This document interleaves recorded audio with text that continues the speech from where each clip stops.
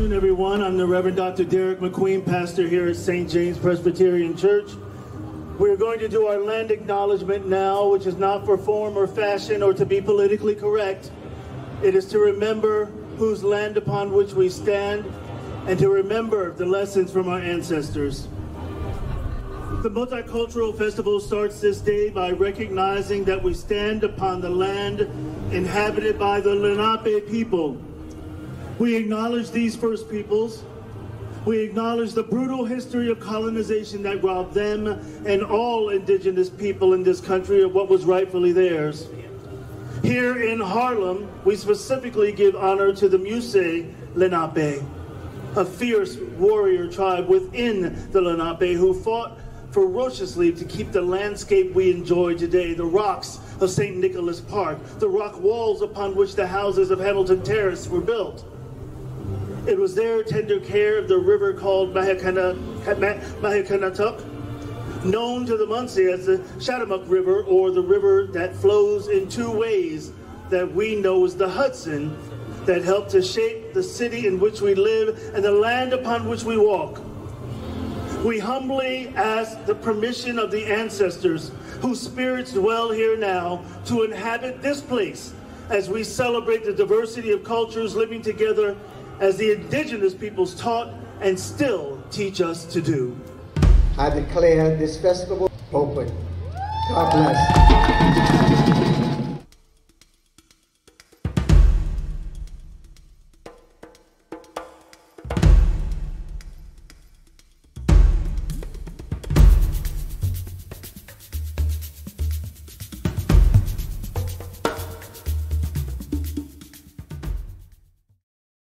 Música